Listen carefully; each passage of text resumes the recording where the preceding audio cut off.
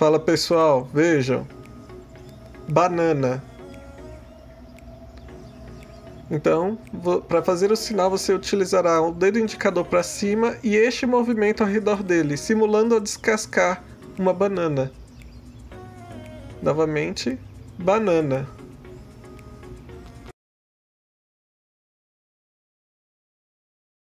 Você gosta do conteúdo deste canal? Não esqueça então de deixar o seu curtir, seu comentário e compartilhar com seus amigos.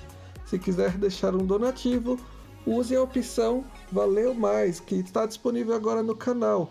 Ah, logo aqui embaixo você verá a opção e tem esses valores que você pode contribuir.